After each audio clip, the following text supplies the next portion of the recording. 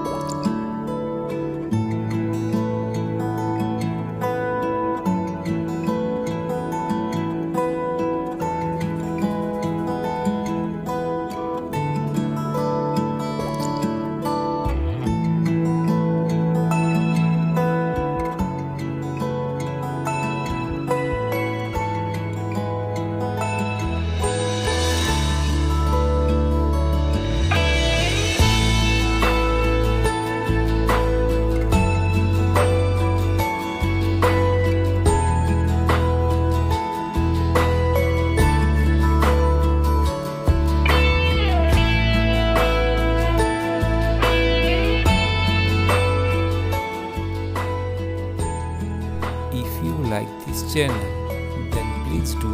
like share comments and subscribe